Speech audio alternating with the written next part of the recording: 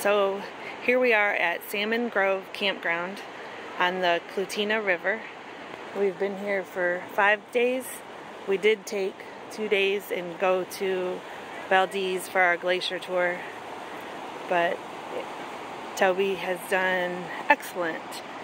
He fished three days and caught his limit every day.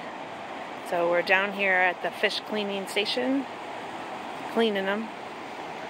It's the weekend and this place is packed. I don't know if you can see. Walk down here real quick.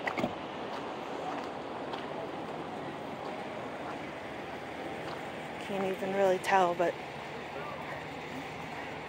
it's a nice campground. The showers are nice.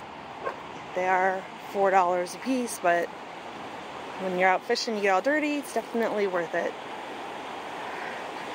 They do have laundry facilities and a vault toilet.